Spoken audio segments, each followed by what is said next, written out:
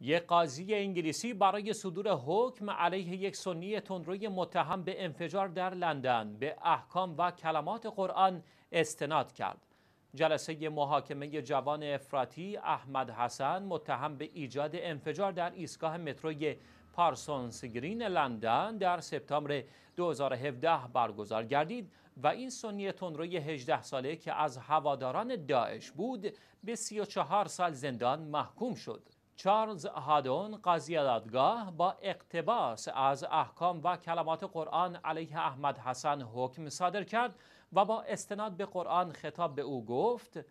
در زمین فساد برپا کرده ای وی همچنین اینسانی تندرو را به مطالعه قرآن پشت میله های زندان و طی سالهای حبسش دعوت نمود چارلز هادون خطاب به این جوان 18 ساله که در پی تبلیغات تشکیلات تروریستی داعش دست به جنایت زده تاکید کرد که طی سالهای آینده در زندان وقت کافی خواهی داشت که قرآن را عمیقتر مطالعه کنید.